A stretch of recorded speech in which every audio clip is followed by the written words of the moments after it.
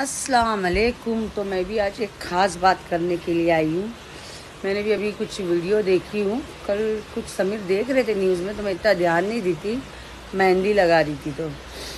तो वो बाल ठाकरे ने कुछ बोले क्या माहिम की जो दरगाह है समंदर के अंदर, वो बहुत काफ़ी दिन से, काफ़ी सालों से, क्योंकि हमारे बचपन से ना हम लोग वो दरगाह देख रहे तो अब मुझे फोर्टी फोर ईयर्स हो रहा है।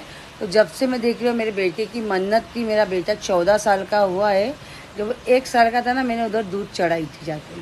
तो जब से हम लोग वो दरगाह देखते हैं उधर और उनकी मज़ार देखते हैं तो आप बोलते हैं दो साल पहले मैंने देखा तो शायद आप दो साल पहले बॉम्बे में आए रहेंगे।